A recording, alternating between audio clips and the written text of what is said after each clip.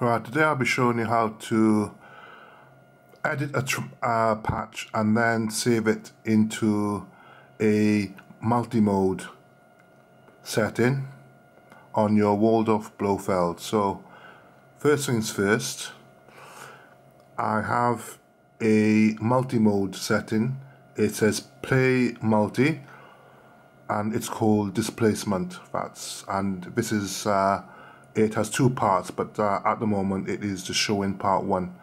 So to edit and save a multi-mode patch what you'd have to do you would go to your patch so press the play button and go to the patch.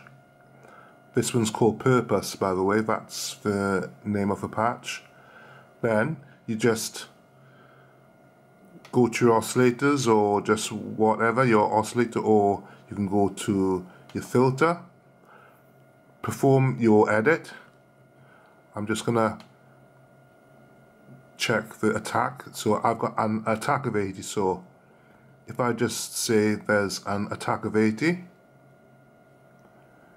that's set now. And if you just want to save that program now is all you have to do is just do the first save. It says purpose there. Save it once. That's the program saved. Now it's gone back to displacement. To keep this program you have to save it once more. As it says there. And that's it. It's done now. What you can do now you can now play your program once you have just edited it. And it's saved to your multi-mode patch now so it's as simple as that. So I will show you again first things first go to your patch press the play button go to your patch which I mean this one's called purpose. Perform your particular